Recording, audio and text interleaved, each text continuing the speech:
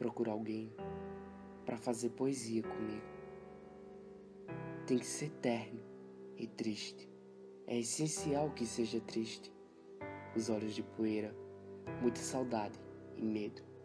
Gesto de até logo, com jeitinho de adeus. Tem que ser distraído e sorrir à toa, sem querer chorar e nunca conseguir.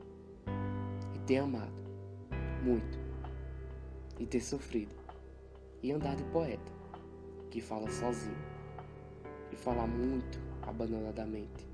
É preciso ter jeito de quem tá querendo ser criança outra vez. E as mãos de jardineiro quando está chovendo, que sabe muito quando começar a sorrir, mas nunca sabe começar a falar. Mas a maior urgência que existe, o essencial, o muito essencial, é ser imensamente triste.